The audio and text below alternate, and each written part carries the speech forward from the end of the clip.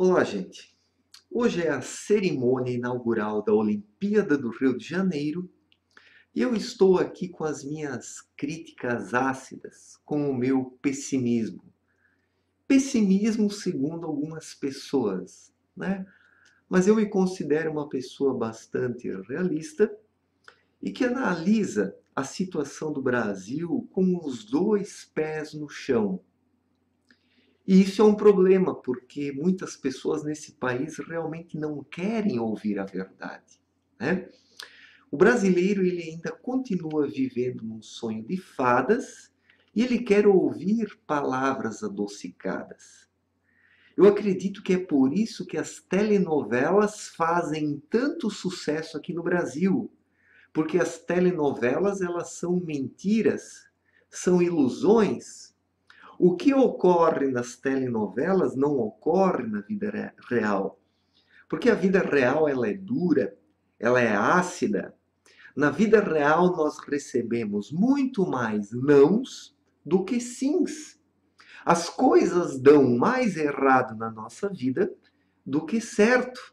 E faz parte do jogo isso, para que nós possamos evoluir, para que nós possamos nos tornar fortes porque se as coisas apenas dão certo na vida do camarada, ele vira um fraco. Né? São os erros, são as frustrações, são os nãos, são os desencantos, as desilusões que fazem com que nós possamos crescer. É quando nós somos obrigados a dar a volta por cima, é quando nós somos obrigados a nos reconstruir que nós crescemos como seres humanos. E eu encaro a vida sob este ponto de vista, como um aprendizado, como uma experiência. Nós não estamos aqui na vida terrena por acaso, à toa. Nós estamos aqui em busca de alguma coisa, em busca de algo. E eu tenho a convicção que eu estou aqui em busca do meu aprimoramento existencial, do meu aperfeiçoamento espiritual. Eu procuro me conhecer cada vez melhor para poder conhecer a realidade, o mundo que me cerca. Porque se eu não me conheço nem a mim mesmo, como eu vou conhecer as outras pessoas? Como eu vou conhecer a sociedade na qual eu vivo? Como eu vou identificar os problemas da vida? E como eu vou poder resolvê-los se eu sou ignorante acerca de mim mesmo. Então é por isso que eu tenho esta visão ácida da vida. Para algumas pessoas eu sou um pessimista, um estraga prazeres. Né? É como hoje, uma grande parcela da população brasileira está comemorando o início da Olimpíada do Rio de Janeiro e eu estou aqui tecendo críticas, né? bancando o gênio do mal, né? Bancando o gênio do mal. Só que eu procuro enxergar o que está para além dos eventos superficiais que nos cercam, porque nós precisamos olhar para além da realidade imediata que nos cerca. Nós temos que procurar algo mais da vida. Nós não podemos nos contentar apenas com esportes, com passatempos, com diversões banais. As pessoas superficiais consideram isso a felicidade. Elas olham para alguém como eu e vão dizer: pô, mas esse cara não é feliz? Este cara é um infeliz? Ele não curte a vida? Ele reclama de tudo, ele fala mal de tudo, ele critica tudo. Em que mundo que este cara vive? Ora, eu vivo num mundo que abarca a realidade material e a realidade espiritual que transcende a própria realidade material. Na verdade, isso forma um todo, né? Isso forma um todo. Mas é preciso desenvolver o seu lado transcendental para compreender este todo. Porque quem vive apenas em seu pequeno mundo mental, contentando-se com os prazeres terrenos, com a Olimpíada, com a Copa do Mundo, é, com o jogo do Flamengo, com o jogo do Corinthians, com o jogo do Fluminense, com o jogo disso ou o jogo daquilo, ele realmente ele reduz o seu horizonte existencial às coisas imediatas apenas. As coisas imediatas, aos desejos passageiros.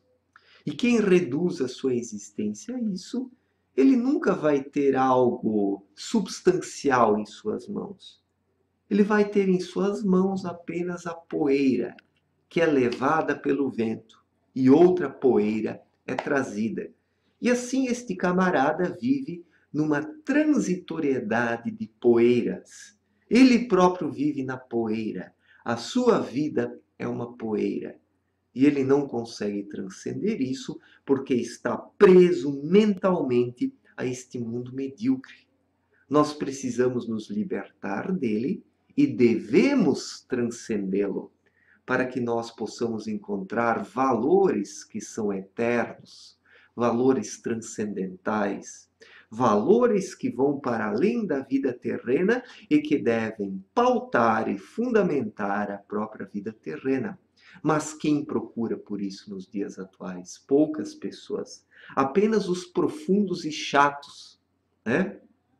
Aqueles caras que são denominados de chatos, né? Esses é que procuram por isso.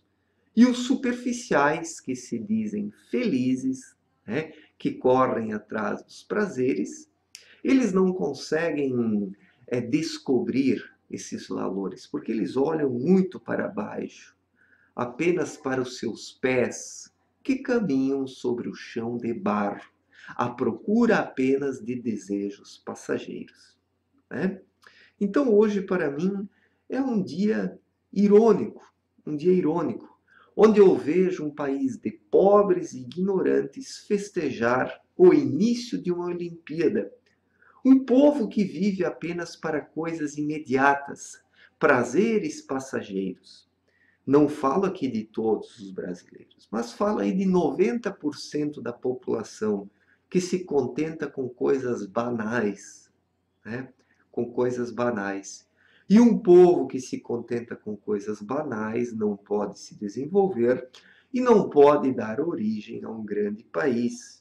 Porque um grande país ele é formado por indivíduos que esperam algo mais da vida e não por um rebanho que se contenta apenas com os desejos imediatos, né?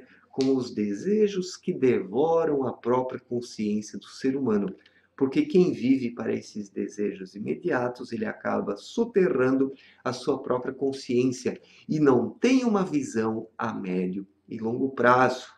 Uma visão a médio e longo prazo só pode ter aquele que desenvolve a sua vida interior.